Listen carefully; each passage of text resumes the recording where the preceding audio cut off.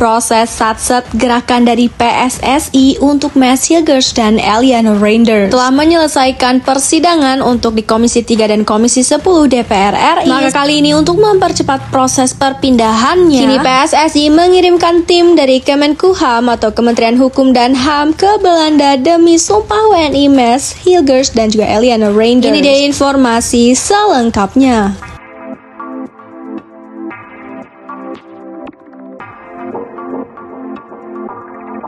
Proses cepat yang dilayangkan oleh PSSI demi membuat Sang Garuda terbang tinggi di babak ketiga kualifikasi Piala Dunia. Segala dokumen dan proses untuk Messengers dan Eliano untuk membela Sang Garuda Sang Merah Putih dipercepat oleh pihak PSSI. Setelah baru saja kemarin menyelesaikan sidang dari Komisi 3 DPR RI dan Komisi 10 DPR RI untuk mempercepat dari proses naturalisasi kedua pemain tambahan tersebut yang akan segera rampung apabila sudah di sidang paripurna oleh DPR RI yaitu Puan Maharani dan juga dari putusan Kepres dari Presiden Jokowi. Setelah proses tersebut selesai maka akan ada sumpah WNI untuk mengikat janji kewarganegaraan Indonesia dari Mass Girls dan Eliana Reinders. Dikarenakan padatnya jadwal dari klub maupun Mass Girls dan juga Eliana Reinders maka PSSI melakukan gerakan cepat dengan mengirimkan tim dari Kemenkumham atau Kementerian Hukum dan HAM Ham ke Belanda untuk mempermudah dari proses WNI Matt Silgers dan juga Eliano Reinders. Pemain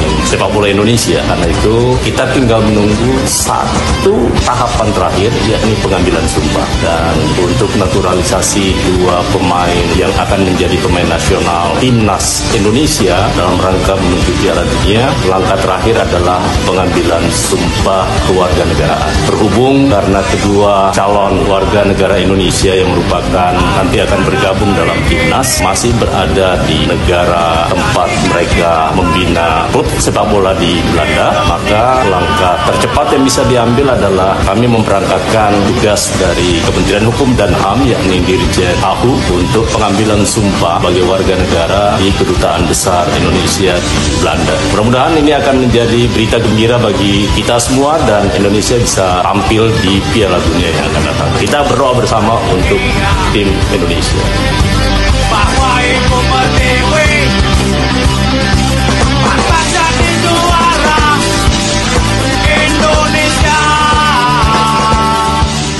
Proses dari perpindahan kewarganegaraan dari Matthew Girls dan juga Eleanor Reinders termasuk ke dalam proses yang tercepat untuk saat ini. Tanpa banyak menunggu, proses kedatangan dari Matthew Girls dan Eleanor Reinders segera diproses hingga dapat membela di bulan Oktober mendatang. Pak Erick Thohir pun menargetkan 6 poin tambahan untuk di laga Bahrain versus Indonesia dan China versus Indonesia di laga mendatang.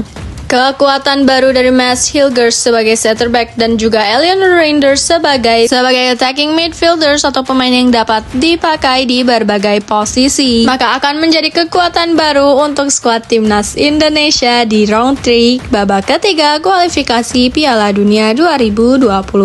Lihat dari cara bermain dan kedalaman skuad timnas Indonesia, kita dapat berbicara bahwa timnas Indonesia sangat layak untuk lolos ke babak selanjutnya maupun itu round 4 pada klasemen 3 atau 4. Itu dia update dari proses WNI Messilgers dan Eleanor Reinders yang akan melakukan sumpah WNI di Belanda dikarenakan kesibukan dari klubnya. Tim khusus dari Kemenkumham akan menghampiri Messilgers dan Eleanor Reinders agar mempermudah mereka menjadi WNI. Dan sampai jumpa di video update yang selanjutnya.